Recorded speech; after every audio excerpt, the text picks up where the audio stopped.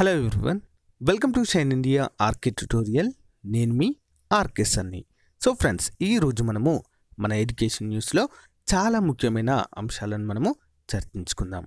So ఇందులో ముఖ్యంగా విద్యాశాఖలో ఆంధ్రప్రదేశ్లో ఉన్నటువంటి విద్యాశాఖలో టీచింగ్ మరియు నాన్ టీచింగ్ ఉద్యోగాలకు సంబంధించినటువంటి పద్నాలుగు వేల ఖాళీలను గుర్తించినట్లుగా ప్రభుత్వ ప్రధాన కార్యదర్శి తెలియచేయడం అయితే మనము చూడవచ్చు.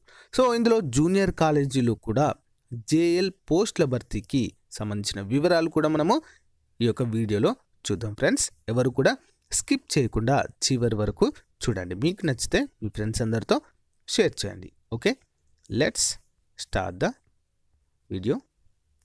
So ఈరోజు మనము ఈనాడు పేపర్లో కనుక గమనించినట్లయితే విద్యాశాఖలో ఖాళీల భర్తీకి కసరత్తు అనేటువంటి హెడ్డింగ్తో న్యూస్ రావడం జరిగింది ఫ్రెండ్స్. ఇందులో ముఖ్యంగా విద్యాశాఖలోని ఖాళీ పోస్టుల భర్తీకి ప్రభుత్వము వివరాలు సేకరిస్తుంది. గత రెండు రోజులుగా అధికారులు దీనిపై కసరత్తు చేస్తున్నారు.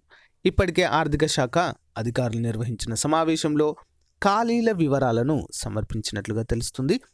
సచివాలయంలో గురువారము విద్యాశాఖ అధికారులతో ప్రభుత్వం యొక్క ప్రధాన కార్యదర్శి నీలం సాహ్ని సమావేశము నిర్వహించారు. పాఠశాల జూనియర్ కళాశాలల్లో కలిపి సుమారు పద్నాలుగు వేల వరకు ఖాళీలు ఉన్నట్లు అధికారులు తమ నివేదికలను సమర్పించినట్లుగా తెలుస్తుంది. ఇందులో జూనియర్ కళాశాలల్లో బోధన మరియు బోధనేతర పోస్టులు అంటే జేఎల్ పోస్టులకు సంబంధించినటువంటి వివరణ ఫ్రెండ్స్ ఎవరైతే వెయిట్ చేస్తున్నారో జూనియర్ లెక్చరర్లకు సంబంధించినటువంటివి. సో నాలుగు వేల ఆరు వందల ఖాళీలు ఉండే అవకాశం ఉంది. సో పాఠశాల విద్యలో తొమ్మిది వేల ఆరు వందలు. అంటే ఇప్పటి వరకు ప్రస్తుతం ఉన్నటువంటి అంశము తొమ్మిది వేల ఆరు వందల కాలినట్లుగా ఉన్నట్లుగా తెలుస్తుంది ఫ్రెండ్స్. ఓకేనా? సో ప్రభుత్వం మొదటగా బోధనా పోస్టుల భర్తీకి ప్రాధాన్యత ఇస్తున్న విషయము అందరికీ తెలిసిందే. విశ్వవిద్యాలయాల్లో ఇప్పటికే ప్రకటించిన సహాయ ఆచార్యులు అంటే అసిస్టెంట్ ప్రొఫెసర్ ఖాళీలు పదకొండు వందల తొమ్మిది ఉన్నాయి. ఇవి కాకుండా వర్సిటీలో మంజూరు పోస్టులు పనిచేస్తున్న వారి వివరాలను పంపాలని అధికారులు కోరడాన్ని మనము గమనించవచ్చు. సో ఇక్కడ మనము ఒక విషయం ఫ్రెండ్స్ ఏంటంటే సో ప్రతిరోజు కూడా ఏదో ఒక న్యూస్ అయితే పేపర్లో రావడం జరుగుతుంది. సో డిఎస్సి ఖాళీల పైన సో డిఎస్సి ఖాళీల పైన ఏదో ఒక న్యూస్ అయితే వస్తుంది ఫ్రెండ్స్. కానీ ఇక్కడ మళ్ళీ మనం గమనించినట్లయితే పాఠశాల విద్యలో తొమ్మిది వేల ఆరు వందల ఖాళీలు ఉన్నట్లుగా ప్రకటించడం జరిగింది. కానీ ఒకరోజు ఇరవై ఒక్క వేల ఖాళీలు మరో రోజు తొమ్మిది వేల ఖాళీలు మరో రోజు పదిహేను వేల ఖాళీలు అని ఈ విధంగా మనకైతే ఒక క్లారిటీ లేకుండా న్యూస్ అయితే వస్తుంది ఫ్రెండ్స్. కానీ ఇక్కడ మనం గమనించాల్సిన విషయం ఏంటంటే ప్రభుత్వము అధికారికంగా ఈ నెలలో మనకు ఈ వివరాలన్నీ కూడా ప్రకటించే అవకాశం ఉంది. అంతేకాకుండా ఈ నెల చివరలో మనకు టెట్ నోటిఫికేషన్ కూడా వచ్చే అవకాశాలు అయితే స్పష్టంగా ఉన్నాయి ఫ్రెండ్స్. ఓకేనా? ఈ నెల ఇరవై ఎనిమిదో తారీఖు లోపే మనకు దీనిపైన క్లారిటీ అయితే వస్తుంది. సో ఇక్కడ మనము ఈ యొక్క బోధన పాఠశాలల్లో ఈ యొక్క పోస్టులు ఏవైతే ఉన్నాయో వీటి గురించి మీరు పట్టించుకోకండి. సో ఇక్కడ మనం తెలుసుకోవాల్సింది ఏంటంటే జూనియర్ కళాశాలల్లో నాలుగు వేల ఆరు వందల పోస్టులు ఇది మాత్రం ఓకే ఫ్రెండ్స్. ఓకే? నాలుగు వేల ఆరు వందల పోస్టులు. కానీ పాఠశాల విద్యలో మాత్రం దాదాపు ఇరవై వేలకు పైగానే పోస్టులు ఉండే అవకాశాలు అయితే స్పష్టంగా కనిపిస్తున్నాయి. అంతేకాకుండా ఏంటి యూనివర్సిటీలో అసిస్టెంట్ ప్రొఫెసర్ పదకొండు వందల తొమ్మిది పోస్టులు. ఇది కూడా okay friends okay?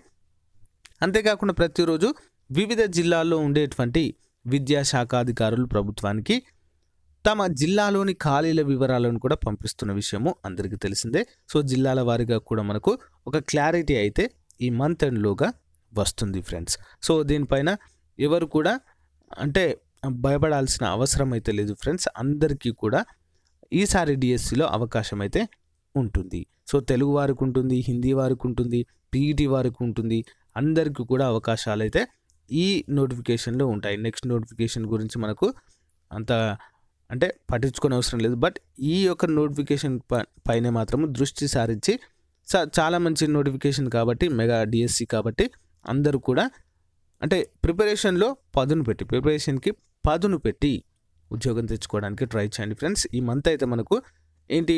DSC notification ఇచ్చే అవకాశాలు అయితే స్పష్టంగా ఉన్నాయి ఫ్రెండ్స్. ఎందుకంటే ఎలక్షన్ కోడ్ అనేది ఇంకా రాలేదు అమల్లోకి రాలేదు. నెక్స్ట్ మంత్ ఎలక్షన్ కోడ్కు ఛాన్స్ ఉంది ఫ్రెండ్స్. కాబట్టి ఎలక్షన్ కోడ్కి ముందే మనకు టెట్ నోటిఫికేషన్ అయితే వస్తుంది.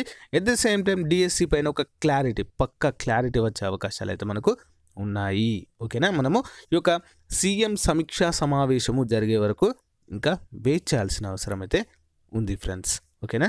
సో ఇది ఈ రోజుకు సంబంధించినటువంటి ఏంటి ఎడ్యుకేషన్ న్యూస్? సో మీకు కొంచెం క్లారిటీ ఇవ్వడానికి అంటే డిఎస్సి ఖాళీలపైన క్లారిటీ ఇవ్వడానికి నేను ఈ వీడియో చేశాను ఫ్రెండ్స్. ప్రతిరోజు కూడా ఏదో ఒక సంఖ్యను న్యూస్ పేపర్లో వేయడం అనేది మనం చూస్తున్నాం. ఒకరోజు పద్నాలుగు వేలని పంతొమ్మిది వేలని ఇరవై ఒక్క వేలని ఏడు వేలు మాత్రమే అని ఈ విధంగా రకరకాలుగా న్యూస్ పేపర్లలో వేయడం అయితే చూస్తున్నాము. సో ఇందులో మనకు స్పష్టత రావాలి అంటే వెయిట్ చేయాల్సిందే ఫ్రెండ్స్ ఈ మంత్ ఎండ్ వరకు. ఓకేనా? సో ఫ్రెండ్స్ ఇది ఈ రోజుకి సంబంధించినటువంటి ఎడ్యుకేషన్ న్యూస్. మీకు నచ్చితే లైక్ చేయండి మీ ఫ్రెండ్స్తో షేర్ చేసుకోండి. Thank you